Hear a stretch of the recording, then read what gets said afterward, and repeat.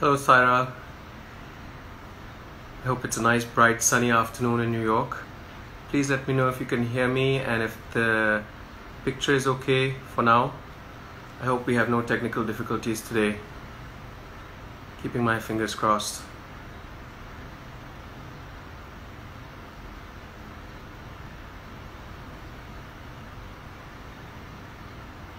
I have another book that uh, is a must own for anybody interested in uh, heritage architecture, especially um, Pakistan. Saira, if you don't have this book, um, it's worth uh, worth owning. Brilliant historian archaeologist, Mr. Dani, one of his brilliant uh, books as well, most well reputed archaeologist of this region. Hello, Heritage Tracks. Good to see you. Hi, G. I'm glad it's a sunny morning in New York and that you can hear me clearly. This is great. Good news, good news. It's certainly a bright sunny afternoon here, and um, to be honest, it's really hot. It's hot. It certainly feels like summer is here in Karachi. There is no doubt about that. Hi, Farooq. How are you doing? So, um, welcome back all of these fantastic familiar faces. Assalamu alaikum to everyone. While I wait for uh, Mariyam Nizam to sign on from Sydney, um, welcome back. This is uh, a live session, chat session number 19 from the Jugalbandi series uh, between Jean Gardner and other guests. Um, so I'm hoping that we will have another exciting uh, conversation with Mariyam, who is uh, extremely dynamic. Um, and knows her heritage architecture inside out, without a doubt. She's been working on Makli, which is why I was doing my research to make sure that I had my information on the history of Makli in place because in case she asks me a difficult question, I don't want to be stuck. So, looking up my Makli history. Uh, thank you, G. Yes, I've. I, it's because I've shaved and trimmed down and sort of made myself presentable for Mariyam, who uh, is a He's a dear friend, but also an extremely well respected professional in the heritage architecture industry. So I thought the least I can do is uh, look vaguely presentable for her chat. I do try for everyone as well, but Mariyam is special uh, in her own way. So thank you for seeing that and uh, appreciating it. I'm also wearing a collared t-shirt. um, so where is Mariyam? It's four o'clock, means nine o'clock. Sydney time. Uh, others have signed up. Great to see some new faces signing up as well. Junaid, good to see you. Thank you for joining us.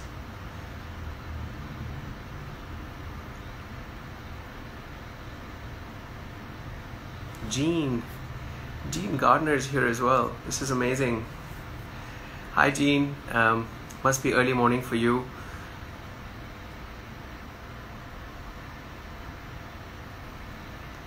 The birds are out singing and the sun is out. Thank you, G.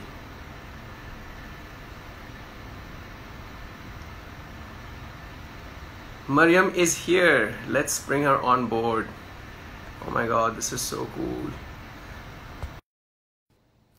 Sarah, thank you for joining us from Lahore, I believe. Hello, Jean. Good to see you as always. Good morning, Jean Gardner from the woods and forests of uh, Pennsylvania. So I've just sent a message to Mariyam, waiting for her to sign up, and then we can bombard her with all sorts of questions and comments and queries and see what she thinks about all of what we've been talking about in terms of the future of heritage education future of education in general also post pandemic in this sort of digital age. But this is a book that for all of you who are interested, please uh, get yourself a copy. It's worth owning uh, without a doubt. It's definitely worth keeping in your uh, libraries. He's a brilliant, brilliant archaeologist and historian, one of many books. So fantastic. What happened to Mariyam? Swear my mic and camera settings need to be altered. Okay. It's all right, Mariyam. Just switch it all on, and we're here waiting for you.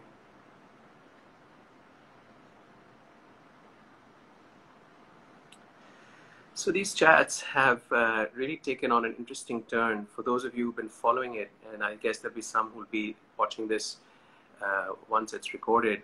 It's really they've really grown beautifully, organically, and the content has gotten richer and deeper, much more than I had expected, much more than I had planned.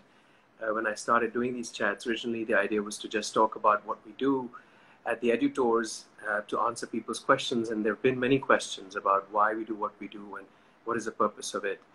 Um, that's how I'd started these, and you know, then it gotten uh, got deeper. Uh, the book's name, Farrukh, is Thatta, Makli Monuments, Islamic Architecture by, here you go. I'm sorry it's backwards because of this, but that says Thatta Makli Monuments, Islamic Architecture by Dr. Ahmed Hassan Dani on top. This is the book that's a must own for everyone who's interested in Makli architecture and history. And then there's several other books. There's Makli Nama, which I also have, which I was reading earlier, but this is the one that I picked up to read before uh, Makli, uh, Mariyam came on board. So we've been discussing some pretty interesting things um, with our Thursday guests that have been very diverse and all pretty uh, senior in their own professional fields. We've also had input from a teenager because we're looking at the future of education for a generation that's new and not us. So I thought it'd be nice to have her input, Ekta Sheikh, who um, is a student at Lyceum School, Karachi. So it's great to have her input and feed that into everything else that we're co-creating and constructing in the background. Um, this may be something that takes a long time. It might have little modules and pieces that we can use as um, pilot programs to start uh, yesterday I had a conversation with a friend of mine who said, why don't you start an online university? And now that Cambridge University, for instance, has said that they will have no real face-to-face classes, that they will be doing everything online, um, we're not probably that far off a similar idea here. But the question is that, you know, how do we get people, like I said, how do we get the new generation curious and excited and trigger their imagination? And then, you know, Jean and I have spoken about the idiom, uh, the metaphor of the horse, bringing the horse to the water, we can do.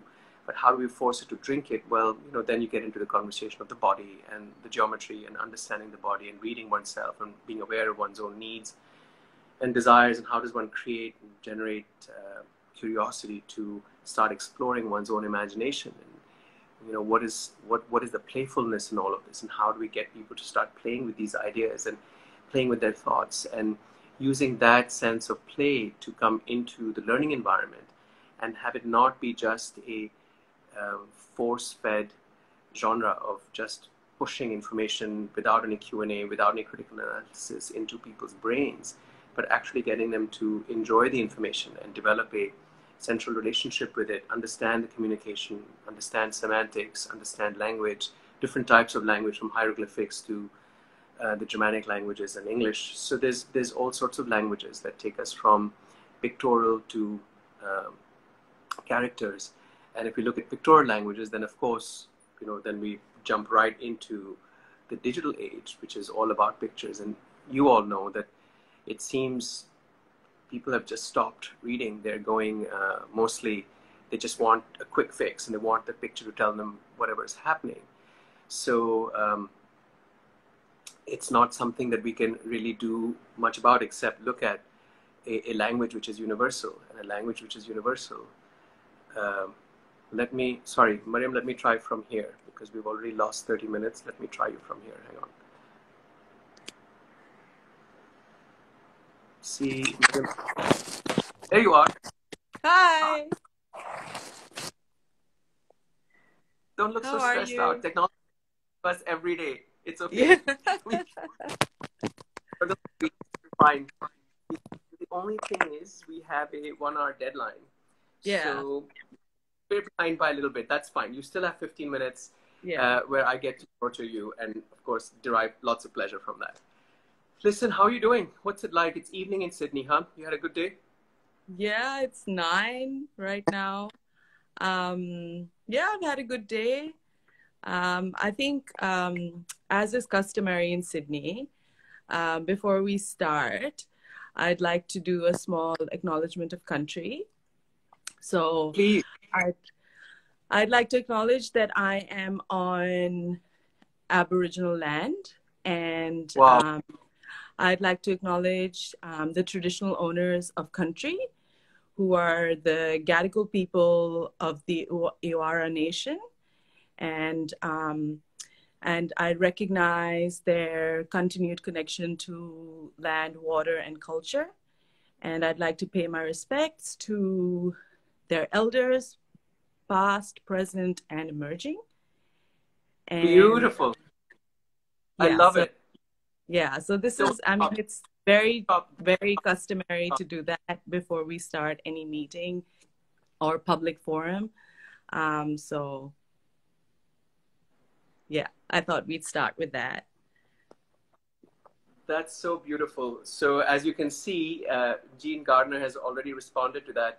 Uh, Mariyam, I know you've been following some of these talks, and Jean is uh, a professor at Parsons School of Design and a consultant at Columbia and at Dalton. She's been my professor many years ago when I was at Parsons and has been a mentor since then. So, these are the kind of discussions we've been having, and what a beautiful, beautiful, lovely. I feel like I should just walk away and leave you with the, the audience because your audience today is people who will respect this, who will understand this, who will appreciate it, who will absorb it in all its beauty. So, do you want to explain why you did this and why it's customary in Australia to do this? Because nobody else has done this before, including my. Give us some Um, background to So I think I think one of um, is very uh, interesting because we're right now. Uh, the coming week is uh, National Reconciliation Week, and um, during this time, uh, we're trying like the government is trying to um, reconcile the tragedies that uh, befell the Aboriginal people at the hands of the settlers and um, and this acknowledgement of country is basically a kind of um, gesture to extend to the acknowledgement of the, the indigenous population of Australia.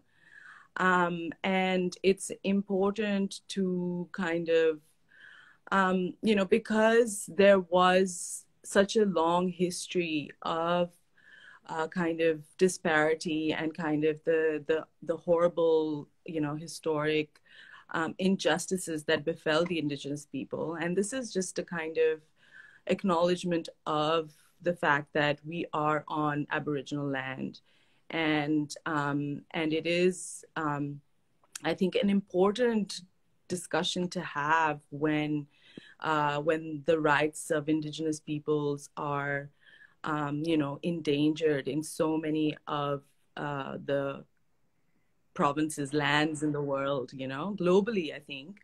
Um, and and this is, I think, it's it's a it's a it's just a small thing, and just acknowledging the fact that, you know, because the Aboriginal people um, have uh, in, are in possession of the oldest living um, culture of the world, and um, and they have a very intrinsic connection to their land and to and you know everything is kind of connected to country and connected to the land. So religion culture tradition.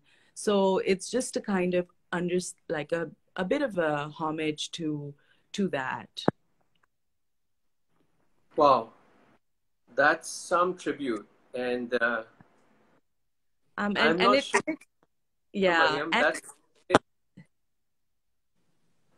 it's a it's a pretty standard. I haven't really deviated. This is a very standard kind of um, uh, acknowledgement of country. Uh, we do it um, at any kind of public forum. It happens uh, when you're writing a report or when you're writing a book most of the australian websites will have an acknowledgement to country um, it's it's an important discussion because that's where the country is at a standpoint, right? Like everything begins from that, that acknowledgement that we are on indigenous land and that it belonged to people before the settlers. And because, you know, Australia is a settler, uh, uh, it's, it's like a migrant country. It's like, I think most of the people are um, ha- are have migrated from somewhere.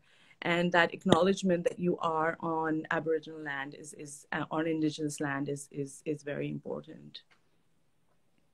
I learned something new today. Thank you. I knew i knew you would do this. I knew you would do this. I mean like blown away. So much for you know all the questions i had in my hand my head gone dissolved out the window so now you help me now you have to help me this is this is i knew this would happen so how how would how would I do an acknowledgement of country for where I am? And I don't want to use the P word or the I word, but if we were to can we do an acknowledgement of country based on the river Indus? I mean, what would be indigenous here? Because the people are not really indigenous. We've had so much movement. Yeah. The only thing indigenous in our river um, Indus. So, what would be my acknowledgement of country? I think I think the the, the word country here has uh, a very different connotation um, because it's not necessarily bound by political or um, well geographical yes but but political or social um, boundaries that are that are very modern um, I think the the understanding of country in in indigenous or uh, aboriginal um, societies is is very different because um, uh, they have um, you know a whole range of affiliations to country and um, a lot of their religion is is derived from a deep connection to country. So um, I wouldn't I wouldn't uh, be able to help you with that.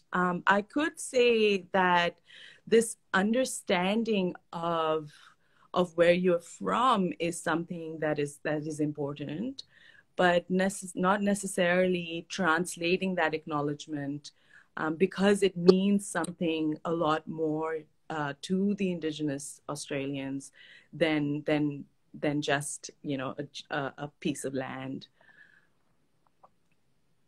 so uh, if we rephrase, um, supposing I change the word country, because uh, you see, for me, country, Mariyam sounds like a political definition. But if you yeah, look at yeah, any of any of the indigenous, right? So it's the Aborigines, the Eskimo, the Native Americans, the Mayans. Mm-hmm. They all have a connection to land, to mm-hmm. earth, mm-hmm. and whether they're tribal and nomadic, or they're people that stay put and they're rural and, and agrarian, and they're not gatherers moving around they still have an inherent um, genetic and spiritual connection to land. Mm. So, land to earth, which, mm. which I think in maybe in urbanity we've forgotten and we've gotten really far from. So, in, in yeah. our case, if I was to look at try and find a way of acknowledging country, and I don't like that word country, but if we were to acknowledge land, um, which makes my life a little bit easier because if I look at the history of Pakistan, and I, I, don't want to use that word, if I look at the history of this region, and yeah, you're an expert. Word. Region is a good word. I, I prefer the word region. Yeah, um, I do it's, too. It's it's it's interesting because you know I I'm I'm uh, it is it is very intriguing when you try try to translate that to to right. um, South Asia, um, yeah.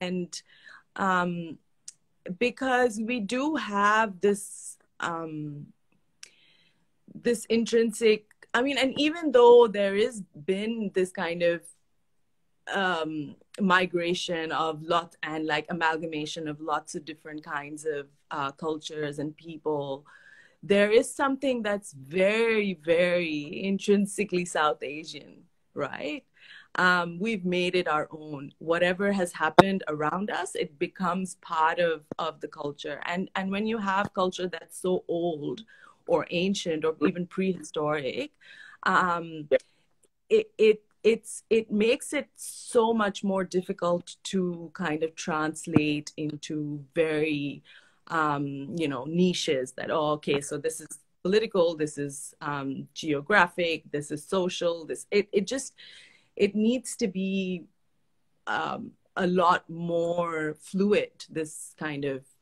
um, acknowledgement in an area like that. Um, I, I, I don't know if, if that makes you know, yesterday, I mean, since Monday, when Jean and I last spoke in our Jugalbandi series, mm-hmm. there's been this, uh, we've, we've pulled out different elements to try and figure out the future of education using uh, heritage architecture as a channel, because that's what I do. And of course, the digital, digital age, have no other option but to head in that direction. Yeah. So we were looking at what kinds of things generate curiosity and imagination and repeatedly, Mariyam, repeatedly, we keep going back to indigenous people of the land, people who've done things like pre Mohenjo-daro games, stories, understanding of what to build. You know, remember the game Pittu? We played Pittu as kids, and yeah. you know there are artists who've made a who've made a like a career out of stacking stones in random locations all over the world and then calling it sculpture and earth art and whatnot. And we've been doing this for millennia, right? You stack up the stones and then you run around and you throw a ball and you let them fall apart and you reconstruct them and then do it, you do it again and again and again, right? And then there's there's the toys that we were found in Mohenjo-daro. There was games of chess. So this whole intellectual uh, challenges had started much earlier. And Mohenjo-daro, I I bring up, unlike Makli, which you've spent so much time working on, Makli was 14th century onwards. It's pretty modern. Yeah. But Mohenjo-daro is pre-democracy. It's pre-monarchy. It was an egalitarian society, and and in terms of ancient siblings, Sumeria, uh, Mesopotamia, Sumeria, Egypt, and the Indus Valley civilization were all siblings, evolving within a few uh, millennia of each other, before everything else exploded. So I wonder that you know would that be would that be our indigenous?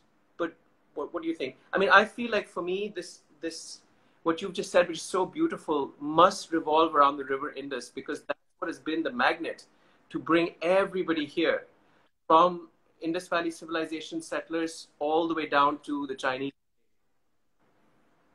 Yeah, I actually, I actually agree. Um, you know, for for pa- for Pakistan specifically, um, the telling of of history for Pakistan, uh, it, it is i mean i i, I don't want to point fingers or anything but i think a lot of it is um, whitewashed um, to fit an islamic narrative um, because we just seem to move from very conveniently from um, from the indus valley um, to i mean if you look at uh, school like school books they, they it very conveniently skips large parts of the history of the chronological order of, of, of historic events right?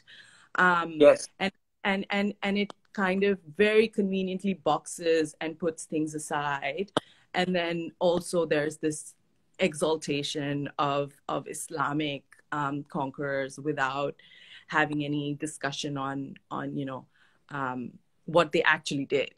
Um, but but but for me, I've always um, thought that read the reading of history for Pakistan, if it's if it's connected to to the river, it it creates um, it creates a more um, open and kind of inclusive historic um, narrative for us. Um, and, and, and, and it's not just the river indus right? Because it connects to kabul it connects to tibet it connects to you know it connects to to all of all of india. Um, and and it really was the the kind of for a long time i think um, india started once you crossed the indus so so for a lot of it yes i do agree that that this connection to to river uh, to the river Indus is is very important. And and I mean there is this um, there is this discussion in a lot of the for I I I I saw you had spoken in one of your talks about um, um, the Kalash people, right? And there's this whole argument about them being Greek or them being um, or them having Zoroastrian uh, roots.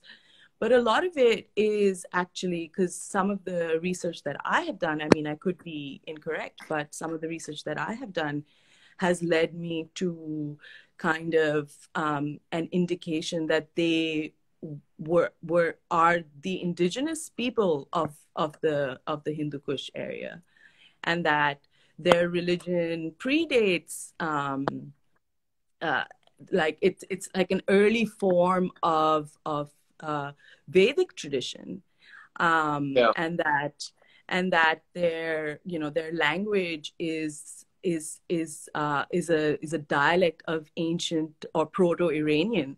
So so it kind of like so they they still exist. They're still speaking a language that is proto-Iranian, right, in its origin. So I mean, so so there is this. There are pockets of indigenous people, um, but but it's I think I think that indigenous discussion for South Asia is very different because it's so ancient. It predates kind of any, um, it can only be conjecture, right? And so I think it makes it a little difficult for us to point at. I mean, this is something that would be very interesting to study, um, of course. But I, I, I'm I'm a little uncertain of of like the the application of the word indigenous in um, in Pakistan or India or, or South the South Asia region generally, because you know there's too many there's too many issues with like oh did the Aryans come from Central Asia? Did they push us out? Were they white skinned? Were we brown? Like it just opens up a whole conundrum of like color and race and you know all of that, which which is something that that needs to be i think it's it's a it's a discussion that can be had but but it's it's a discussion that's based on a lot of like conjecture yeah but true so the flip side of that same coin is that you know we this region of the indus river sits right at the edge of the near east we're at the eastern easternmost edge of the near east and the westernmost edge of Southeast Asia because Afghanistan is not Southeast Asia. We are. We're the beginning yeah. of Southeast Asia. And the top of us is locked off by the Karakoram, the Hindu Kush, and the Himalayan mm-hmm. mountains. So mm-hmm. this is the doorway. And I just wonder if you're right, 100% right, that indigenous doesn't work for us. But how do we do an homage to our diversity as any of these lectures start or our the beauty of the fact that from north to south, everything changes within a few hours. The landscape, the people, the food, the costume, right? So there's no there's no whole intact, watertight indigenous that you can point at and say this is indigenous and this is not. We mm. are this melange, collage of different influences, uh, influences from 5,000 years at least, if not more, till now. And if the Kalash are considered indigenous, then um, I mean, it's relevant to that region.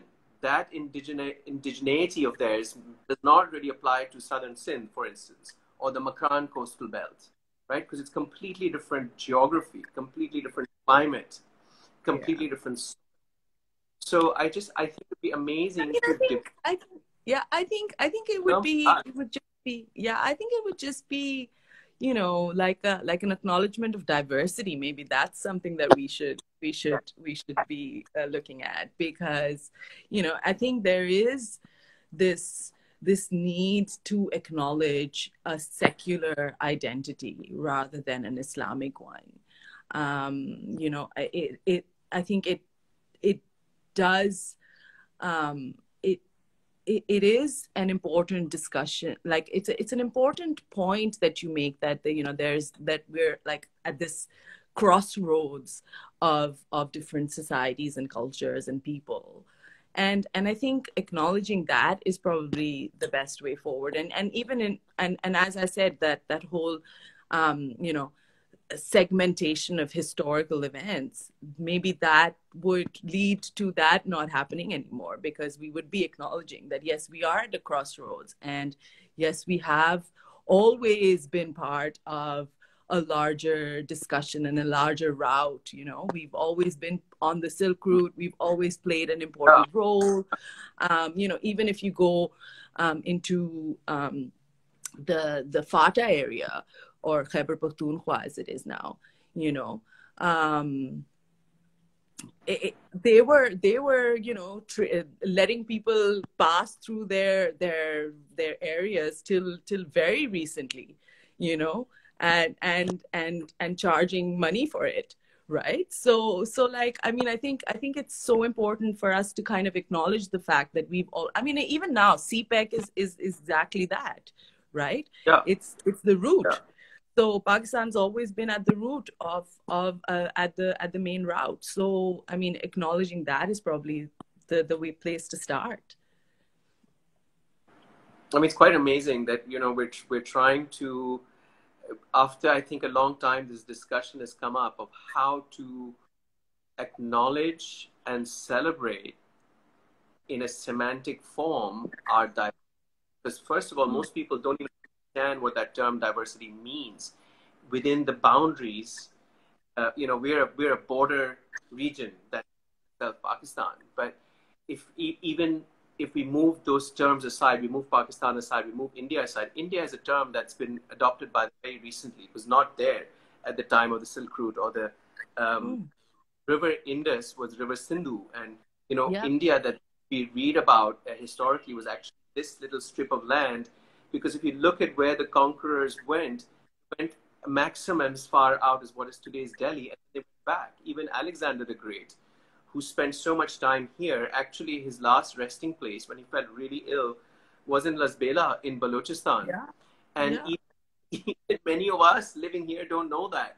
That you no, know, come in from really interesting because uh, when I was working in Pakistan, someone had contacted me about a mound uh, somewhere near um, somewhere near uh, Gujarat, and um, he he was of the opinion that this was the mound or tomb of Alexander's horse. Hmm. Um, mm. And I found that very interesting. Um, I never really got into it or what, you know, but he had sent me a whole list of, of documents and, um, you know, indications of, of why he believes that this is um, the tomb of Alexander's horse, you know? Um so yeah i mean it's it's crazy. We have like the strangest of things um everywhere. I mean you you drive up down uh the gt road and you can see like uh, you know old ruins of of things and and you go closer you find out that they're like from the second century ad um which is which is like mind blowing if you actually think about it um but but yeah i think i think there is this because there's so much of it uh, there is this kind of disassociation with it, which is very unfortunate. Um, also, also the documentation, right? So there's there's two parts of what you uh, hit. You hit a very sensitive nerve, which is this idea of history that's been kept from us by design. to Be able to control the masses in a better way, so that they don't question and they don't have to, you know, their empowerment is reduced. So, first of all, the doc- history has been documented. I find as I wander around Pakistan that a lot of this history, like the mound with Alexander's horse in it, is not documented. So, research, document, and then, of course, you know, that all has to be double checked and checked and seen if it's authentic, authenticized. So, the authentication process has to happen. So, first of all, our documentation of what we have, which is enormous. I mean, I, every time I go out on some tour, every time I'm going up and down the same plot of land, I find something new. Just like you said, on the GT, on the way to Hub, on the way to Hyderabad, somebody was, by the way, sir, you see this, go and see that, and suddenly this incredible shrine shows up, or incredible tombs show up of people we didn't know or we heard about, and there's a lot of history that's in our folklore and in our mythology, which because it's non-linear, just gets pushed aside as irrelevant. And I think this would be a great time for us to start documenting, like Marvi does, right? The oral history project is really important. Mm. Um, I think uh, uh, Sharmeen does it with, with her work. So I think across the country, there is mythology and folklore that needs to be brought into the forefront and looked at as part of our doc- historical documentation process. Nate, what do you think? okay so so there's two things in this So one um, is when you say that there's this lack of documentation. I feel like there has been a lot of documentation done, but it's just siloed. Um, there's this kind of, you know, you're, I'm not you, but you're working in your office, you know, collecting stuff. I'm working in my office collecting stuff. But right. if you want something, I'm going to be like, ah, uh, do I really want to give it to him? What if he misuses right. it? You know, there's this kind of issue with documentation. I feel like a lot of documentation has been done by the government, a lot of it has been done by private organizations, but there's no kind of collective archiving. Um, right. and and also like so for example since i've been here there is um, there's there's also this lack of of like public uh, organizations that are working in actively digitizing archives. Um, so since I've been here, the uh, this is a, a really interesting uh, a really interesting resource that I, I, feel like you should have a look at is the National Library of, of New South Wales, um, and it's called Trove. And what they do is that they have recorded all the newspapers, all the photographs, all the like everything, anything you want to find, you want to find out about Mr. Jim Smith.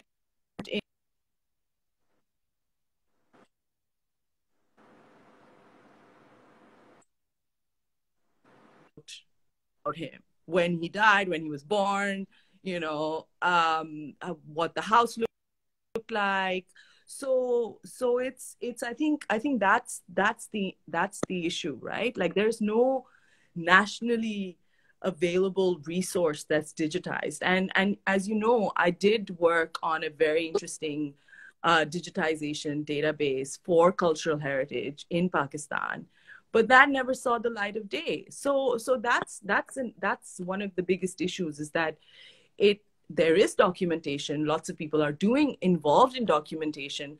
There's a lot of doubling up of documentation as well. Like i'm doing the documentation you're doing a documentation where we don't have to do it twice. Like if you've done right. it why can't we share it? So that's that's right. one of the biggest issues with documentation. Um, and the second thing was um, with regards to um, i've completely lost my thought fine. Documentation, we're talking about documentation and history being removed from us by design. There's not enough yeah. documentation. You're saying there is yeah. not shared. It's not in a singular yeah. archival environment. Yeah, I think, and and then also, of course, the folklore, um, and and like oral history. Um, there is this, um, you know, this change in in, you know, most of the international um, world on on oral history. And there is a lot of intangible heritage that is being um, is being listed. Um, unfortunately pakistan has no intangible uh, world heritage uh, listing or you know a recommendation even for um, intangible heritage listing. But however um, there there can be avenues where this is even if it's not um, you know because like the japanese tea ceremony for example is an intangible heritage that's that's that's on the world heritage list right? So even if we can't have something on the world heritage list on a on a national level or, or a local level or a state uh, like a provincial level you could have um, you know intangible heritage listing and folklore is part of it part of that. Um, and and I think I think one of the one of the biggest issues with oral his or like recording of oral tradition or or intangible heritage is is that you know sci- because we document things on a scientific grounds there is that kind of difficulty of kind of rationalizing how to record um, tradition, which is intangible. Um, specifically, if it's not like if it's craft, it probably is easier. But if it's stories or, you know, because like for example, um, I don't know if you've ever seen those that Katputli ka khel, you know, where they play like they have puppets and they're, you know, telling a story. But it's very different because if you if you if it's a master telling you the puppet using the puppets to tell you a story, it's very different versus if it's like his understudy, right? And so it's the telling of the story that is as important as the story right so so that's what that's what makes intangible heritage so difficult and and also very difficult for professionals who are trying to record it which is why it's so interesting um but it is it is an avenue that that needs to be explored but it's it's also an avenue that is internationally being discussed on how this this can be um, recorded and saved and um, there's a lot of you know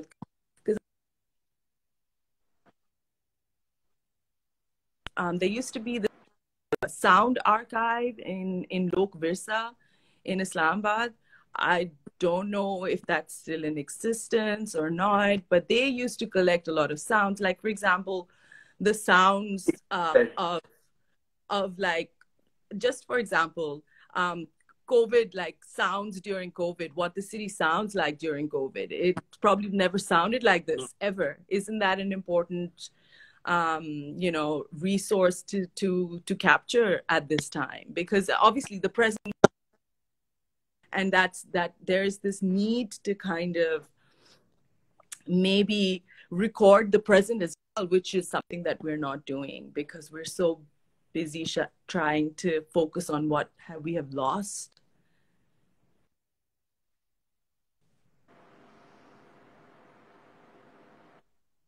Yeah, listen, uh, do you want to look at some of these comments and questions coming in, uh, Mariyam? This is really cool. So Marvi has said, talked about an alternative history. That's where analysis comes in, investigative research. Uh, Jean thinks that lacking grounding, which is something mentioned by Adnan, a great insight, literally not standing on the ground, work in its holistic sense. Look at this. So Tanya Karim is an architect uh, who's based out of Dhaka. And mm-hmm. she has a question how can we attach value and significance to intangible heritage to reinforce regional identity preservation? Here's a good question for you. Well, I think, well, I think, I think that's you, you've kind of answered your own question, haven't you? Really, there, because intangible heritage is uh, about regional identity preservation, right? It is, um, you know, for example, just if we take something as simple as like um, embroidery, right? Um, there's a different taka in different parts of, of India and Pakistan, right? And just preserving that, that kind of motive, the way that the women stitch it, the, the colors that they use, it is part of a regional identity. We may not understand that, but but that's that's I mean that's what we're gra- gra- grappling on, right? Yeah. I'm just trying to respond to Marvi. So I've this uh, Lok Virsa archive in Islamabad. Yeah, it's it, it was it was pretty bad when I went, which was like in 2011. It was almost all already gone. They used to have film. They had quite a bit of stuff, but it's I, I it was gone. Even I mean, there was there was quite a bit of resource to it when I went when I was younger um, but but in by by 2011, it, I think, yeah. So, um, are you suggesting that we create a national heritage uh, acknowledgement um, body, or a of all the like a federal that acknowledges so like the UNESCO equivalent for World Heritage Sites, we should have one for our own heritage sites that are all listed in one place, in one archive, in one library, one resource center. Share all the knowledge. Stop the politics. Yeah, stop yeah, the games. Yeah. So, yeah. I, I think. So I, I, oh, didn't want to share the oh. information all the time. There's a real lack of sharing of information. I don't know what this hoarding, hoarding mentality is. It's very bizarre. Yeah, I mean, look, I think um, you know, I, I'm I'm learning a lot from my work here, and um, I think one of the most interesting things uh, that I've come across while I've been here is this kind of collection and public dissemination of information, right?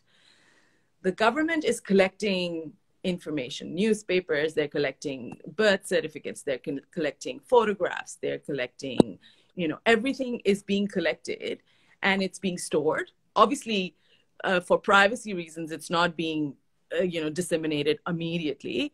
And it, there is a kind of filter to what you can access but there is a lot of resource which is available publicly. It's available through libraries it's available through the internet. Um, you know there's you can you can find out what your you know because even building applications are made made public right? So for example if you have um, if i'm doing some if i'm like painting my house i'm going to inform the government and the government is going to make that information publicly available right? And so that information of me painting my house in 2020 will be available in 2051 or 2121 right? And so there is this this because you're constantly recording and making information publicly available in the present there is this indication that it will be available in the future. And and and obviously and because this is the the the system that has been in place since you know uh, since the first settlers there is so much information in the public sphere on how the city evolved how you know who lived here um, who uh, how the how the how the changes were made, what what's in the ground, what's ar- you know what what archaeological deposits are there, um, and and so that makes that recording of history and understanding of history so much more easier because you have information that is publicly available. Um, and and it's all available in one centralized system you know you, you can you can find it on the internet you don't 90% of the times you don't even have to go to um, to a, a, library. You can just get it online. There are state archives. I mean i don't i don't know what the state of the state archives i mean like for example in Denso Hall um, you know there was there were building reports that were locked up in the in the clock tower and there were like birds who were you know nesting on them. And these were documents from you know 1875 right so i mean that's how we're preserving our our paper records and you know there's this act, you know that the action the call to action is to actually digitize all of that because how can you learn if everything that is on paper is turning to dust. Yeah. Which it is. It's disintegrating really fast. Which brings me to my last point for today is that, okay, so let's see we miraculously change our system of governance. Because remember, our all of these problems that are government based are in a bureaucratic structure that has mm. also been inherited by colonial bureaucratic structure that never thought we would need to have this discussion today. So their systems are not in place, and therefore people are doing their own anarchic version of whatever they want with, with the heritage work, which is actually a public property, all of it, and belongs to everyone across the country, whether it's Karachi or it's Kailash. So th- there's a fundamental restructuring that needs to happen there, and maybe you know I don't know if Marvi's still here or not, but she's involved with the federal government and this whole issue of heritage. It's something I think that maybe she can take up um, in due course. But if all this stuff is digitized, how do you think that this kind of information will help the 18, 19 year old who's on here today, my ex students are on here today listening to you, in terms of future of education through heritage sites? Like, what, what is the role that you think that digitized can play for the future, like 20 years from now, 30 from now, when we're gone? Look, I think aside I think, from, I think there's, I mean, there's, there's, the as far as the colonial, um, uh, kind of her, like handing down of of procedures or um, is concerned. The the the issue is that that the, the British actually had an amazing system of archiving and recording. And you can see that at the British uh, Museum, you can see it at the British Library. They have records of things that you know we don't have with us. And and it's not you know i think i think one of the biggest um legacies that the british have left us is this meticulous uh, method of recording and and because you know i mean there's like journals that that ch- chart like like record the charting of seas you know? So so it's not that that that colonial um like that that the colonial legacy is what's holding us behind. I feel like there is um there is an maybe it's it's it's a mentality uh, mm. of of someone else doing the work and me reaping the benefits. Like i think that's what what is a mentality mentality that needs to be br- broken from. Um and as far as what it would be used for i think there's the the uses are are you know infinite you know? I mean uh there is there is absolutely i think uh, predicting how this information will be used is is uh, kind of naive because who would have thought that I would be sitting in Sydney and you would be sitting in Pakistan, Karachi, and we would be having this discussion? Because you know right. you never know how technology, where technology takes you, what what the world is take uh, you know headed towards. Yeah. Um, but but but but the importance of of recording is that um, and sharing i think i think more so than recording is also sharing. I think that's that's something that is so valuable because heritage cannot be heritage unless it is shared you know? And and and memories cannot be made unless you share them with someone you know? I mean how many memories do you have of like oh i had such a good time i was sitting in by myself not talking to anyone? That that doesn't happen right? Um, so so it's it's so important to to kind of and and you know and and heritage and everything it's it's things that are shared right? It's it's ideas that we share. It's um it's history that we share. It's it's uh, rituals that we share. It's rites that we share. It's it's it's always shared. And and this documentation if if we share it um there's there's an infinite uh, way to for for for things for things to pan out. Do you think that we could use we could use i mean the sharing is another sensitive topic you've hit because i don't know people don't want to share you know uh, marvi said the god the old gods come in the way and said that you know it's just people in, in between who are selfish and retain the information. For some reason, they think that they need to take this with them to their graves instead of sharing with future generations, which is us, which is the next lot, and them after that. I believe that if we don't share this heritage as you rightfully identified, because losing our sense of identity, cultural identity will get thinner, thinner and more ghostly the further we get from our heritage the archives, the documents that have been created post Brits, or anything that we have, like you said, to refer back to was what uh, the British documented when they were here. But somehow our bureaucratic system hasn't followed that.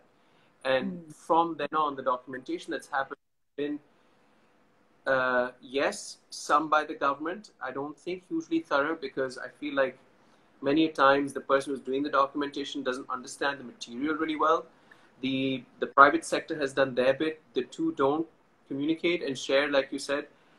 And in the end the pedagogical structures that need this content right the children that need to have access to this the students that need to have access to this material we're doing them such a disservice because they don't have access to this material. And so their sense of self and connecting and grounding to this region's earth to the soil is so not there you know yeah it's it's it's um although I would say that that there is a lot more resource that's available now than it was when when I was in school or college. Um, uh, I feel like you know JSTOR and a lot of uh, universities have put a lot of their information on on online, um, and there is um, a lot more information that is available. Of course, there needs to be a whole bunch more that that is available. And and honestly, I've I've seen um, documents um, at the department that that have endless information, but it's just not for your eyes, right? Um, and mm. but I mean, it's it's just I don't know about the old gods either because you know it's you we we can learn a lot from them as well. And there is this need to kind of even record what they know. Because like for example how many of us actually even uh, recorded um, you know how our grand great grandparents lived or how you know i mean hardly anyone even knows that. You know we don't mm. even you know if you, you you're if your great grand or if your mom and dad are telling you stories of their young age there's a there's a kind of aversion to even listen to that because it doesn't i mean I, and i think that's becoming more and more and it's always been like this i guess. But but there there is this aversion to kind of to the past and especially in um, i feel in pakistan because we're all looking to the future and you know let's just look straight ahead. Who wants to worry about what happened in the past? And i feel like a lot of it has to do with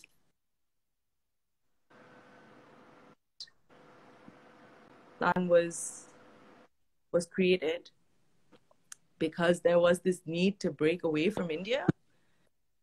Um, so there there's this intrinsic need to break away from a past which is why it's so important i feel to kind of connect history to the to geography in the telling of history to connect it to geography because it gives you more roots rather than a more you know um, holistic kind of um, uh, regional identity. This is what this is what uh, we've been talking about really. And for me in all of my work as you already know is really key that we look at that. But um, for now, listen, we're almost out of time, Mariyam, and I think you've beautifully exactly what it is that we want to stay focused on, which is history that's regional based and geography based, and not political boundaries, not the last 70 years, but much more ancient. But anyway, listen, thank you so much for your time. This has been amazing. I'm going to make a record of all of these questions and comments that have come in. Thank you, everyone, for your contribution and participation. That's what it's all about. Mariyam, thank you for your evening so good to talk to you at peace after yeah. such a long time. Yeah, uh, I may come come back on for us again. It's been amazing. Sure. Um, thank you for that acknowledgement. I'm going to think about how to do an acknowledgement for the diversity. Uh, yeah. For our diversity. Let me know what you come up with. I'm going to you, and I want to start doing that in our chat. So, on that note, God bless you. Thank you so much. Khudafiz to you and your Thanks. Aborigine country. Love you so much. Take care. All right. Thanks. Take care. Bye bye.